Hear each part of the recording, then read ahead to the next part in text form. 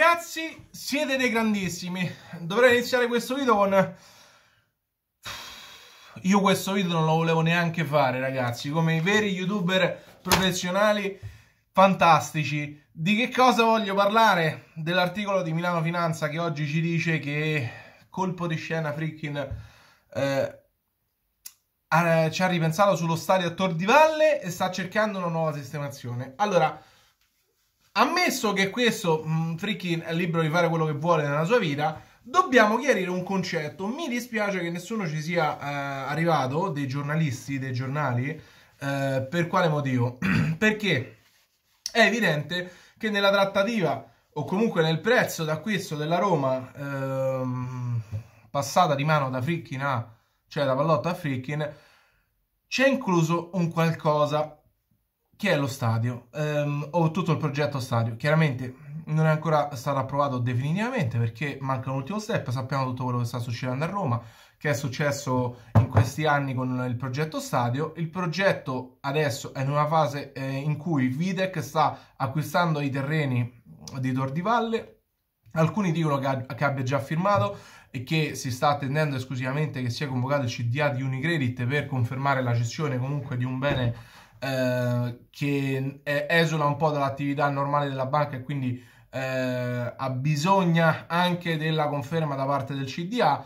Eh, comunque dovrebbe avvenire a giorni questa cessione. Sappiamo che Fricchi ne si è incontrato con la Raggi. Quando è venuto qui a Roma avevo detto una, una delle cose che sicuramente farà è quello di incontrarsi con la Raggi. Si è incontrato con la Raggi in gran segreto all'interno dell'ambasciata americana. Nessuno ha più informazioni dalla società perché i Frickin sono maniacali dal punto di vista della eh, privacy, cioè non eh, condividono nulla, eh, non dicono nulla, non sa, non, nessuno sa dove siano, se Dan sia ancora in Italia o meno. E questo sta mandando molti giornalisti in tilt, quindi ci dobbiamo affidare al cervello. Prendiamo due numeri, prendiamo due numeri ragazzi, perché vi voglio far capire che cosa è successo nella cessione della Roma. Diciamo che questo era un video che vi avevo preannunciato tante volte, eh, non ve l'avevo fatto perché dovevo prendermi un attimo due numeri, fare due divisioni e non mi andava. Oggi ve l'ho fatto, quindi subito like di supporto a questo video e condividetelo con i vostri amici. Che cosa è successo nella cessione della Roma? Sto prendendo il comunicato. La valutazione dell'operazione è stata data all'interno del comunicato per 591 milioni di euro. Benissimo, poi si parla di 549 ascrivibili al club, nessuno gliene ha fregato niente di dove, dove sono andati gli altri 41 milioni di euro, ma va bene. Eh, ipotizziamo che non ci sia il discorso stadio, cioè che effettivamente quello che abbia acquistato quello che ha acquistato mh, mm, Frickin sia solamente la squadra, eh, ma non ha acquistato la squadra, la S Roma SPA, no? Eh, non ha acquistato il 100% delle, delle quote dell'S Roma SPA, ma ha acquistato l'86,6%. Quindi ipotizziamo che sia stata data una valutazione per l'86,6% di 591 milioni di euro. Voglio ragionare come tutti i giornalisti. Ehm, benissimo, a questo punto stiamo dicendo che il 100% della Roma, della S Roma SPA, vale 5, 687 milioni di euro. Bene, a fronte di questo, nel momento della trattativa della cessione, chi va ad acquistare la Roma sa già che acquistando la Roma oggi non stai acquistando una società che non ti produce perdite o quantomeno che ti finisce in pareggio.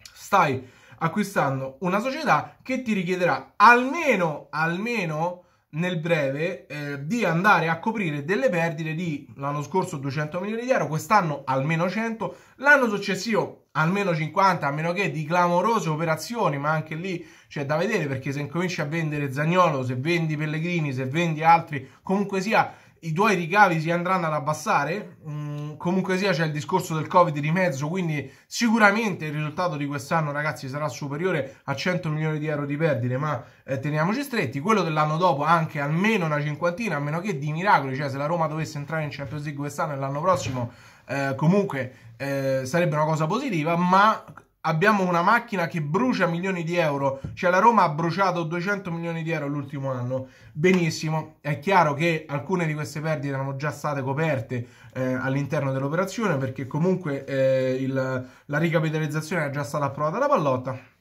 Vogliamo stimare ulteriori 150 milioni di perdite che sono ragionevolmente eh, prevedibili per i prossimi due anni? Cioè, stiamo stimando che comunque i Frickin dovranno andare a ricapitalizzare con 150 milioni di euro. Io penso che sia una cosa ragionevole, benissimo. Quindi stiamo dicendo che i Frickin si sono comprati la Roma, eh, cioè la S Roma SPA, andando a valutare tutto quanto 837 milioni di euro. Benissimo. La valutazione fatta dalle società di consulenza, chiaramente in un'ottica non di cessione, ma di, ehm, di going concern, cioè di...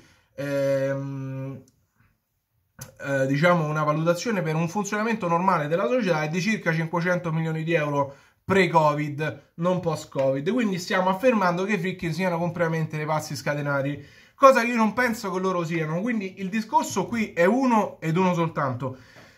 Nella cessione chiaramente il prezzo può essere eh, aumentato, abbassato perché ci sono le forze contrattuali, quello che vi pare, benissimo. Però mi sembra che per arrivare ad una valutazione simile eh, ce ne passi, ce ne passi. Quindi senza ombra di dubbio ci deve essere qualcosa all'interno di questa valutazione che ha fatto salire, eh, chiamiamolo prezzo, ma comunque la valutazione stessa. Mm, che cosa è questo? Dal mio punto di vista è innegabile che sia il progetto stadio, cioè il progetto stadio a Tor di Valle, perché non vedo che cosa possa essere. L'amore per la Roma di Ryan che si sveglia eh, e c'è il poster di Dotti in camera eh, può essere, apro e chiudo una parentesi, faccio le condoglianze a Totti e alla famiglia perché ieri poteva mancare il padre, che è sempre una cosa, una cosa drammatica. Non ho fatto video riguardo perché secondo me ragazzi in questi casi non serve a niente fare video riguardo, ma ehm, è chiaramente un momento drammatico della vita di ogni persona. Quindi Ryan dubito che sia venuto dalla eh, da Houston o Dan si sia svegliato un giorno e abbia detto voglio andare a prendere la Roma perché mi stanno simpatici. È evidente che siano venuti qui attratti anche dalla possibilità di andare a costruire un intero quartiere dedicato alla Roma con la possibilità di avere anche un business park e a tutte altre situazioni che conosciamo. Quindi, quindi tornando al discorso di Milano Finanza iniziale, qualcuno ha anche scritto su Twitter Pomezia Finanza addirittura superiore a Milano Finanza. Non lo so, Pomezia, Pomezia Capitale addirittura Milano succursale eh, questo lo dite voi. Quello che vi dico io è che sicuramente c'è la possibilità di, ehm, per, per Freaking di fare quello che assolutamente lui vuole, ma mi sembrerebbe assolutamente irrazionale non provare a portare a termine un progetto che va avanti da nove anni. Eh, un progetto che ha avuto chiaramente tutte le difficoltà che conosciamo, ma andare a iniziare un progetto da un'altra parte non significa realizzarlo in due anni come la gente sta eh, ipotizzando adesso, o meglio, vederlo approvato in due anni, perché non è così. Ci saranno persone che proveranno a mettere i bastoni tra le ruote perché vorranno essere tenute in considerazione. Dove girano soldi ci saranno eh, interessi che proveranno ad essere messi in gioco. Eh, Frickin ha parlato con la Raggi, non ha parlato con altri sindaci. Eh, il sindaco, l'area che viene sempre riproposta è quella di Fiumicino, che è un'area sicuramente, ragazzi, ehm, facilmente accessibile, ma un'area che sta fuori dal, dalla città. Non è un'area facilmente raggiungibile, per esempio, da turisti qualora tu voglia fare uno stadio eh, stile quello del Barcellona. Eh, è un'area che sta separata dalla, dalla città, che non è sicuramente comoda e facilmente raggiungibile per altre operazioni che non sia quello di andare allo stadio. Chiaramente alcuni tifosi diranno: Ma a me che me frega, va bene tutto, ragazzi. Continuate eh, a non fregarvene, però dovete accettare il fatto che lo stadio deve essere un veicolo per portare eh, soldi nelle casse della, della, società e deve andare ad aumentare un pochettino il tuo brand, cioè deve essere un posto che deve essere vissuto durante tutta la settimana, non solo eh, durante le partite. Questo è un concetto chiaramente assodato dalla, eh, da alcuni, non assodato da altri e mm, non ci posso fare nulla. Comunque tutto questo per dirvi ragazzi che il prezzo della Roma deve includere necessariamente anche il progetto stadio, che poi il progetto stadio, eh, se poi mi chiedete il progetto stadio sarà approvato al 100%, ragazzi, tutte le forze politiche stanno dicendo di sì perché ci sono le elezioni adesso, la loro falsità si sta manifestando in questo momento, stanno conclamando il fatto che ehm, la loro falsità la stanno sventolando ai 420, ma ci sono persone che hanno difficoltà a capire questi concetti base e quindi, e quindi loro lo fanno perché si eh, prendono gioco delle persone un po' più eh, deboli dal punto di vista mentale. Detto questo, vediamo che cosa succederà. Sicuramente uno dei prossimi passi è il passaggio effettivo e definitivo dei terreni da Videc, cioè da ehm, da Parnasi a Videk. Cioè, definito questo, ragazzi, mi sembra una follia andare a pensare che ehm, Fricchi possa spostare il progetto stadio da qualche altra parte, perché un anno fa lui parlò con Videk, già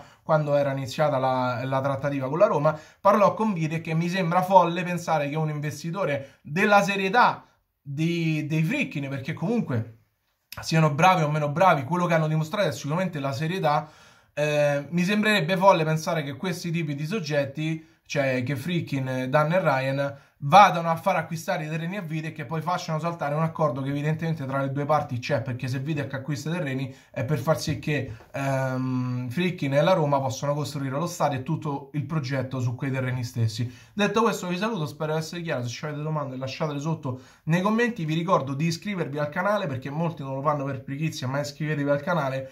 Eh, detto questo, ciao Datti e ciao a tutti quanti.